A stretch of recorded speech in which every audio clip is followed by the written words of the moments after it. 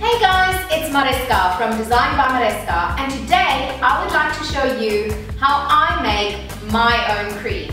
It's a very easy recipe, it's only five ingredients and it really makes a great cream, especially if you've got a sensitive skin.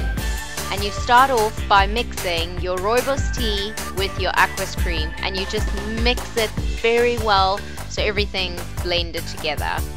And once that's done, you're gonna add your tissue oil. And again, you just stir, stir, stir.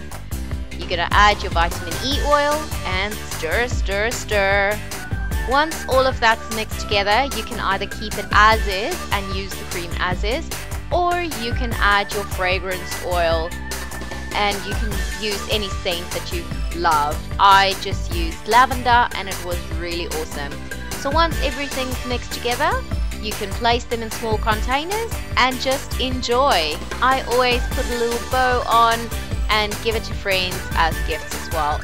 So guys, I hope you've enjoyed this video. If you have, please give us a thumbs up or consider subscribing to the channel. I would really appreciate it. I hope you have a wonderful, adventurous day.